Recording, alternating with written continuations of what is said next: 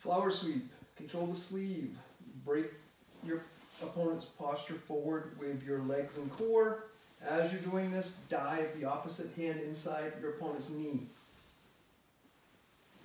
Waiter's hand, change your angle, it should be perpendicular. Alright, free leg is gonna kick up, opposite leg is gonna kick under the lap.